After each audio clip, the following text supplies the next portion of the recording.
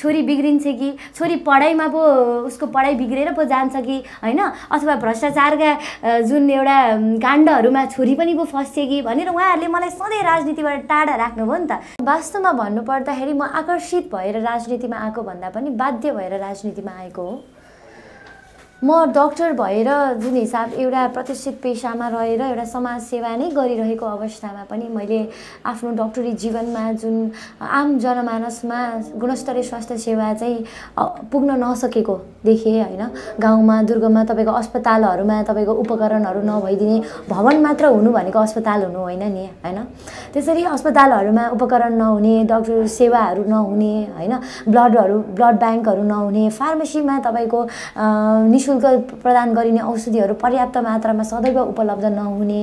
होइन यी सबै यावत समस्याहरू र मेन त तपाईँको कुरा गर्नुहुन्छ भने बिरामीले उपचार नपाएर मर्नुपर्ने। एउटा बिरामी ऊ गरिब छ भनेर मात्र पनि पैसाको अभावले मात्र ज्यान गुमाउनु पर्ने समस्या जुन मैले दैनिकी जीवनमा बिरामीहरूमा देख्दै गएँ होइन त्यसैलाई सुल्झाउनको लागि चाहिँ अब मैले नेपाल मेडिकल काउन्सिलको हैसियतमा जुन पोलिसी मेकिङ काम गरिरहेको थिएँ त्यसबाट सम्भव देखिनँ।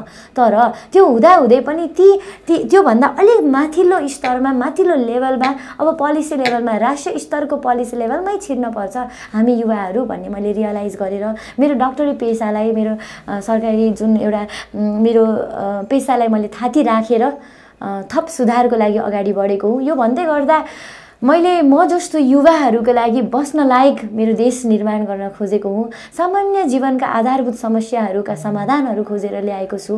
पाँच वर्षभित्र त्यो समाधान हुन्छ भन्ने मैले विश्वास लिएर अगाडि आएको। ललितपुर क्षेत्रको लागि केही एजेन्डा छ? त्योभन्दा पनि मेरो राष्ट्रव्यापी एजेन्डा छ। स्वास्थ्यलाई मैले विशेष लिएको छु। म आफू स्वास्थ्य विज्ञ भइरहेको अवस्थाले गरेर मैले स्वास्थ्यमै राम्रो भूमिका दिन सक्छु र स्वास्थ्य भनेको जनजनको तपाईँको जन्मदेखि मृत्युसम्म जोडिएको विषय हो होइन? कोभिड महामारी हामी तिनवटा महामारी भोगिसक्यौँ। अहिलेको अहिले डेङ्गु पनि तपाईँको घर घरमा भएर बिरामीहरू अलपत्र अवस्थामा हुनुहुन्छ। होइन यो समग्र सबैले चाहिँ हामीलाई स्वास्थ्यलाई कति महत्त्वपूर्ण छ भन्ने कुरा बुझाएको छ। होइन स्वास्थ्य राम्रो एउटा जनता स्वस्थ भएमा उनीहरू उत्पादनशील हुन्छन्। होइन उनीहरू हरेक क्षेत्रमा अब्बल हुन्छन्। आर्थिक हिसाबले देश उभो लाग्न सक्छ। होइन त्यो कारणले मैले विशेष फोकस मेरो स्वास्थ्यमै रहेको छ। गुणस्तरीय स्वास्थ्य सेवाको पहुँच जनजनमा पुर्याउने त्यसको लागि तपाईँको इमर्जेन्सी हेल्थ लोनको व्यवस्था गर्ने राष्ट्रिय स्तरको हेल्थ कल सेन्टरको व्यवस्था गर्ने होइन नि शुल्क उपलब्ध हुनुपर्ने औषधिहरूलाई नि शुल्क उपलब्ध गराउने त्यसै गरिकन क्यान्सरका परीक्षणहरू नि शुल्क स्क्रिनिङ प्रोग्रामहरू ल्याउने होइन। यी यी यी योजनाहरू चाहिँ मेरो स्वास्थ्यमा छन् होइन। त्यसै गरिकन महिला सशक्तिकरणलाई मैले विशेष जोड दिएको छु। तपाईँले अहिले हेर्न सक्नुहुन्छ होइन? महिलालाई कति कति मात्रामा तपाईँको प्रोत्साहन गरेर मेयर जस्तो पदमा उठाइन्छ त होइन? अहिलेकै उम्मेदवारीको कुरा गरौँ न कति ठाउँमा महिला उम्मेदवारहरू हुनुहुन्छ त? तोकिएको तेत्तिस प्रतिशत पनि पुर्याउन सकेका छैनन् जम्मा नौ प्रतिशत छ होइन महिलाले? हो त्यसको कारणले म महिला एउटा शिक्षित महिला एउटा योग्य सक्षम महिला भएर अगाडि आइराख्दा मैले मेरा अन्य अन्य महिलाहरूलाई सहारा बन्न सक्नुपर्छ म उहाँहरूको। मैले महिला सशक्तिकरणको मुद्दामा महिलाहरूलाई ब्याचलर्स लेभलसम्मको एजुकेसन चाहिँ फ्री उपलब्ध गराउन सक्नुपर्छ। महिनावारीमा प्रयोग हुने साधारणलाई फ्रीमा नि शुल्क उपलब्ध गराउन सक्नुपर्छ। त्यसै गरिकन महिला कार्यकारी प्रमुख भएका संस्थाहरूलाई अनुदान दिएर हुन्छ कि होइन ऋणहरू दिए सस्तो ब्याजमा दिएर हुन्छ कि होइन प्रोत्साहन दिनुपर्छ।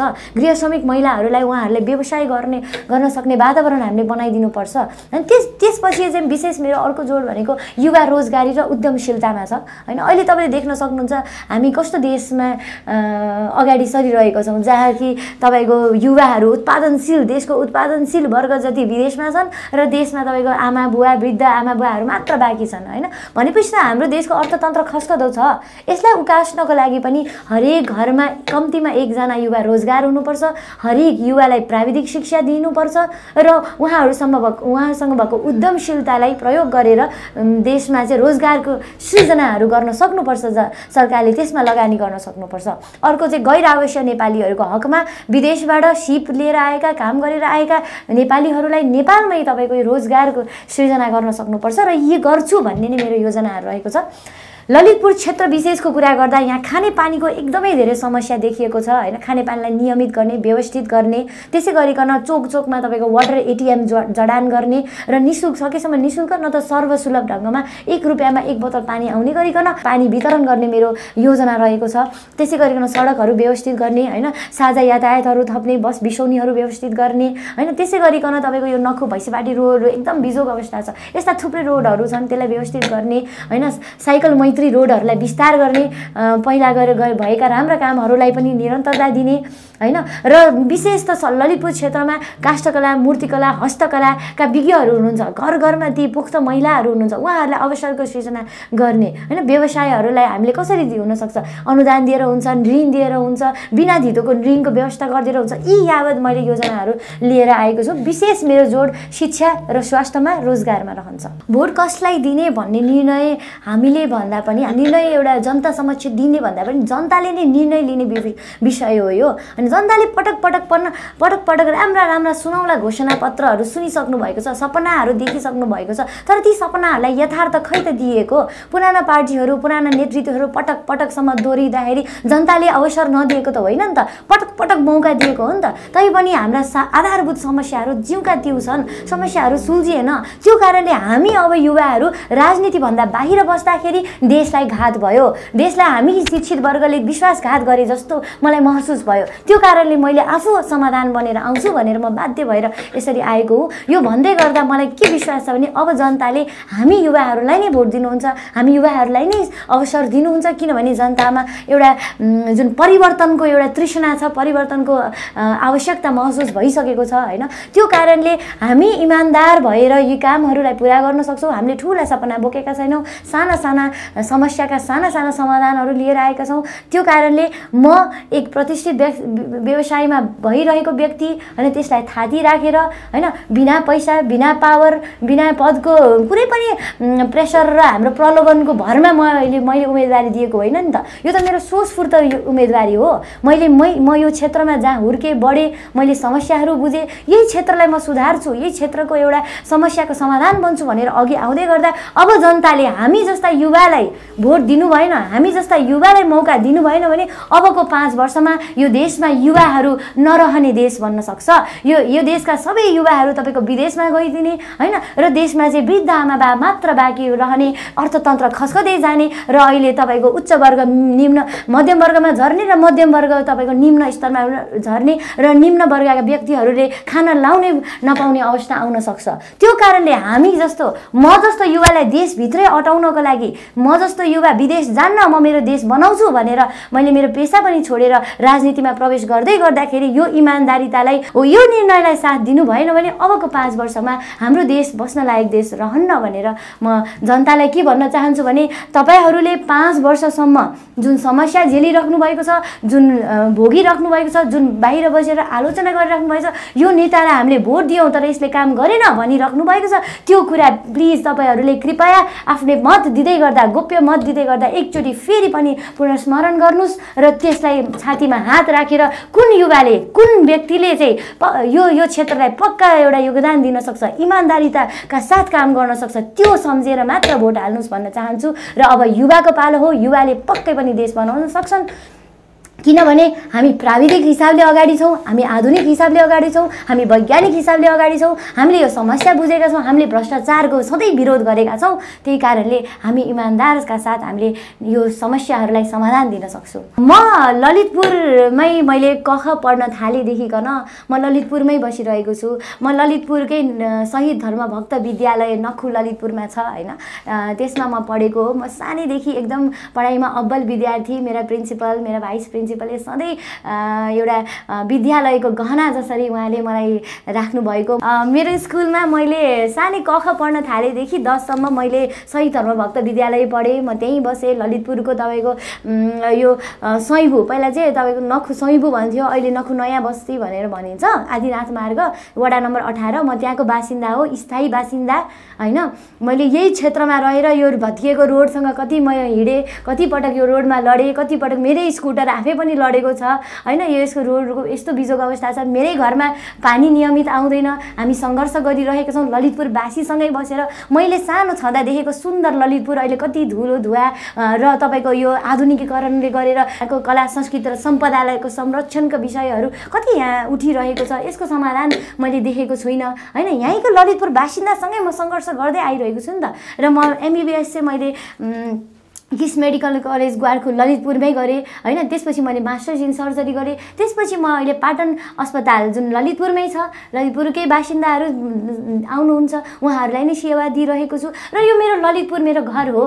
म यहाँको छोरी हुँ। र म यहाँको छोरी भएर यो ललितपुरले मलाई शिक्षित एउटा दीक्षित बनाइरहँदा मैले मेरो ललितपुरवासीको लागि के गर्ने त? मैले यो मेरो ललितपुर माटोको लागि के गर्ने त? भनेर मैले विश्व मैले महसुस गरेको कारणले मैले ललितपुरकै पहिला यहाँबाट मैले सुरु सुरुवात गर्छु परिवर्तनको र देशव्यापी रूपमा जान्छु भनेर मैले ललितपुर क्षेत्रबाटै प्रतिनिधित्व गरेको म एउटा जेनरल सर्जनसम्म आइपुग्नेको पछाडिको सङ्घर्षका कथाहरू भन्दाखेरि मलाई मेरा बाआमाले सधैँ राजनीतिभन्दा टाढा राखे। होइन छोरी राजनीति भन्ने त फोहोरी खेल हो। तिम्रो लागि होइन त्यो भनेर उहाँहरूले छोरी बिग्रिन्छ कि? छोरी पढाइमा पो उसको पढाइ बिग्रेर पो जान्छ कि? होइन? अथवा भ्रष्टाचारका जुन एउटा काण्डहरूमा छोरी पनि पो फस्थे कि? भनेर उहाँहरूले मलाई सधैँ राजनीतिबाट टाढा राख्नुभयो नि त। त्यो कारणले पनि म मलाई यो क्षेत्रका जनताले राजनैतिक हिसाबले चिन्नुहुन्न होला। तर मलाई डक्टरको हिसाबले चिन्नुहुन्छ पक्कै पनि होइन? र मैले मेरै मेरै ठाउँमा बसेर मैले डक्टरको सेवा दिइरहेको छु होइन? यो कारणले पनि म के भन्न चाहन्छु भने हिजोको दिनमा मैले अध्ययनमा फोकस नभएको भए म आज यो स्थानमा पुग्दिनँ थिएँ। मैले यो विज्ञता हासिल गर्दिनँ थिएँ र यो विज्ञतालाई अब म प्रयोग गर्न जाँदैछु नि त होइन? एउटा राष्ट्र नीति बनाउने लेभलमा प्रयोग गरेर जाँदैछु नि त होइन? यो भन्दै गर्दाखेरि मैले विगत भारतमा गरेका अभियानहरू थुप्रै छन्। म एउटा भनौँ न एउटा आम मेडिकल विद्यार्थी मात्र हुँदाखेरि मैले मेरो इन्टर्नसिपको लेभलमा चिकित्सा शिक्षामा हुने भ्रष्टाचार काण्डको विरुद्ध होइन भर्ना शुल्कमा लिइने अनैतिक लुट तन्त्रको विरुद्ध होइन मैले अभियानहरू चलाएँ देशव्यापी रूपमा आन्दोलनहरू गरेँ र त्यसलाई हामीले स्थापित पनि गऱ्यौँ। त्रिभुवन विश्वविद्यालय अन्तर्गतका निजी निजी मेडिकल कलेजहरूमा भर्ना शुल्क हामीले निर्धारित गऱ्यौँ। त्यसपछि हामीले मेरिट भर्ना एडमिसन इस्टाब्लिस गऱ्यौँ। स्थापित गऱ्यौँ। दुई वर्ष लगाएर हामीले दुई तिन महिनाको अन्तरालमा होइन हामीले मुद्दा सर्वोच्च अदालतमा मुद्दा खेप्यौँ।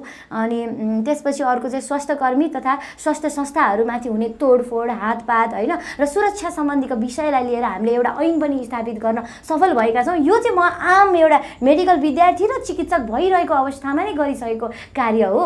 यसबाहेक मैले डाक्टर गोविन्द केसीसँग रहेर समाजवादी शिक्षा र तपाईँको चिकित्सा शिक्षा र स्वास्थ्य सेवाका सुधारका मुद्दाहरूलाई मैले ज्वलन्त पारेर अगाडि बढेको छु अभियन्ताको रूपमा नेतृत्व गरिरहेको छु। म ललितपुरमै बसिरहँदाखेरि जब जब मेरो देशले सङ्कट भोगेको थियो नि भूकम्पको अवस्थामा महामारी विभिन्न महामारीहरूको अवस्थामा होइन बाढ बाढी पहिरो जाँदाखेरि शीतलहर जाँदाखेरि म ती गाउँहरूमा पुगेको छु स्वास्थ्य शिविर लिएर राहत शिविर लिएर पुगेको छु होइन। त्यसबाहेक चाहिँ म नेपाल मेडिकल काउन्सिलको निर्वाचित केन्द्रीय सदस्य पनि हुँ। देशभरिका तपाईँको प्रतिष्ठित डाक्टरहरूले मलाई पक्कै पनि त्यसै त भोट हाल्नु भएन होला नि होइन? उहाँहरूको मत दिए लिएर मैले चाहिँ नेपाल मेडिकल काउन्सिलमा एउटा स्वास्थ्य क्षेत्रमा एउटा चिकित्सकको अभ्यासमा चाहिँ नीति निर्माण कक्षमा मैले काम गरिरहेको अवस्था छ।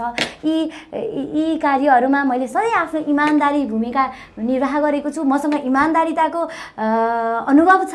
मसँग मेरो क्षेत्रका मुद्दाहरू उठाएर नेतृत्व गरेर सफल बनाएका अभियानहरूको अनुभव छ। र यही अनुभवले म थप अगाडि बढ्नेछु भन्ने म विश्वास